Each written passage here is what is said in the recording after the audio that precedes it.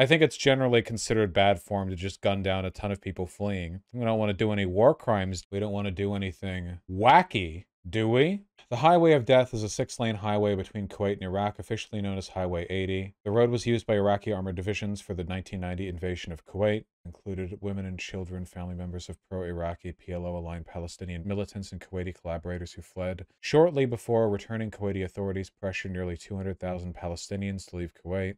Active and former U.S. Attorney General Ramsey Clark argued these attacks violated the Third Geneva Convention. Yeah, more like the highway of cringe. We killed a lot of people. Death toll from the attack remains unknown. A British journalist, Robert Fisk, said he lost count of the Iraqi corpses crammed into the smoldering wreckage or slumped face down in the sand. Hundreds of corpses strewn up the road all the way to the Iraqi border, scores of dead soldiers. Basically, like, it was like a highway that a lot of people were using, and a lot of them were civilians, and we saw a lot of people, and we went pew pew. We racked up the points. It was probably bad to do that.